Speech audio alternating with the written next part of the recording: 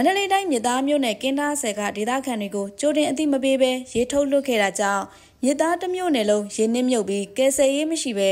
ရေဘေးကြုံနေရတာ3ရက်နီးပါးရှိပြီလို့ဒေသခံတအူးကစက်တင်ဘာလ23ရက်ဒီကနေ့မှာ MFP ကိုပြောပါရယ်မြစ်သားမြို့နယ်ပန်လောင်းမြစ်ပေါ်မှာတိစောက်ထားတဲ့ကင်းသားဆယ်ရဲ့ရေပြည့်မှတ်ရောက်ဖို့နှစ်ပေခန့်အလိုမှာ ဒေသခံပြည်သူတွေကိုကြိုတင်အသိမပေးဘဲဆယ်ရီလွဲပေါက်၄ခုစလုံးကနေရေထုတ်လွှတ်ခဲ့တဲ့အတွက်မြို့နယ်တစ်ခုလုံးရေကြီးနှမြုပ်ခဲ့ပြီးဒီကနေ့အထိကယ်ဆယ်ရေးမရှိဘဲအခက်ကြုံနေရတယ်လို့ဒေသခံတွေကဆိုပါတယ်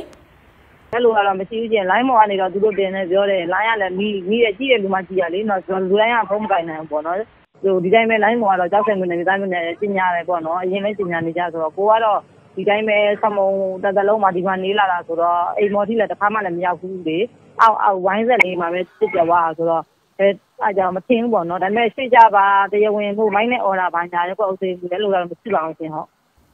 ကင်းတားဆက်ရေလွဲပေါက်ကနေစက်တင်ဘာလ17ရက်မှာရေထုတ်လွှတ်ခဲ့တာဖြစ်ပြီးအဲ့ဒီလိုရေထုတ်လွှတ်မဲ့အကြောင်းနဲ့ရေကြီးနှိမ့်မြုပ်နိုင်ခြင်းအတွက်ဒေသခံတွေဘေးလွတ်ရပြောင်းရွှေ့ထားဖို့အကြောင်းကိုကြိုတင်အသိပေးခဲ့တာမရှိဘူးလို့မြေသားမျိုးကန်တွေကဆိုပါတယ်။ ဟောဒီအိမ်နဲ့ပိတ်မိတာကနှစ်ရက်ပေါ့နှစ်ရက်ပြောပါတော့မနေ့ကပိုတက်တာပေါ့အရင်နေ့ကတော့ရှေ့ဘက်ထွက်လို့တော့ရတာပေါ့ဗျာရှေ့ဘက်ကနေမိုင်းဆိုတော့ဝိုင်းတယ်လို့ဖြစ်သွားတော့ဘုကြီးကဒီနေ့နေရာတွေကတော့အခက်အခဲပေါ့ပေါ့ဗျာနေတဲ့နေရာတွေကတော့အိမ်ခေါင်ကိုပေါက်ပြီးတော့ကိုခေါင်မိုးပေါ်နေနေရတာတော်တော်များတယ်ဒီရီတက်ဒီခေါ်လီဒီခေါ်တော့လေလာမလာမလာပြောတာရောက်မလာဘူး ကင်းသားဆယ်ကရေထုတ်လွတ်ခဲ့တဲ့စက်တင်ဘာလ17ရက်ကနေဒီကနေ့စက်တင်ဘာ23ရက်အထိကယ်ဆယ်ရေးမရှိဘဲရေဘေးဒုက္ခနဲ့စာဝတ်နေရေးအခက်အခဲတွေကြုံတွေ့နေရတယ်လို့ဒေသခံတွေကပြောပါတယ်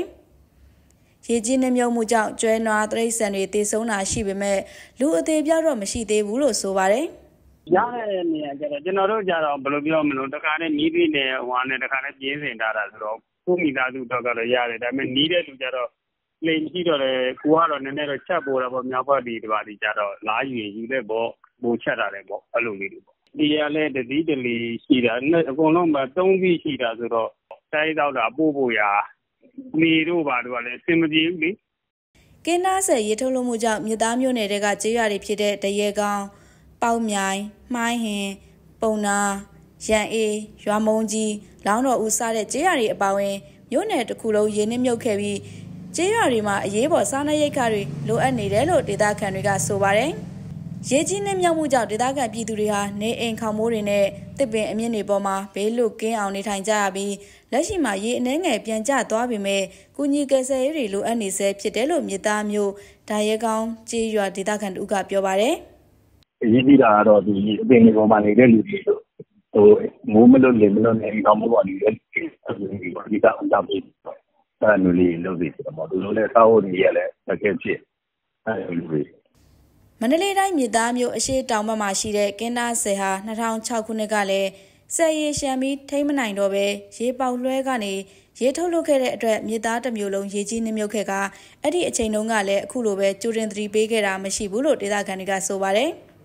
တောင်တရုတ်ပင်လယ်မှာတိုက်ခတ်ခဲ့တဲ့အင်အားပြင်းတိုင်ဖွန်းမုန်တိုင်းယာဂီရဲ့အရှိန်ကြောင့်ရှမ်းပြည်တောင်ပိုင်းနဲ့အရှေ့ပိုင်းအပါအဝင်မြန်မာနိုင်ငံအလယ်ပိုင်းဒေသကမြို့ရွာတွေမှာပါမိုးရွာရေကြီးတာတွေဖြစ်ပေါ်နေပြီးမြေသားမြို့နယ်အတွင်းအခုတခါရေကြီးရေရှမ်းတာဟာနှစ်ပေါင်း25နှစ်အတွင်းအဆိုးရွားဆုံးဖြစ်တယ်လို့ဒေသခံတွေကဆိုပါတယ်။2006ခုနှစ်ကင်းနာဆယ်ရေထုတ်လွတ်ခဲ့တဲ့ချိန်က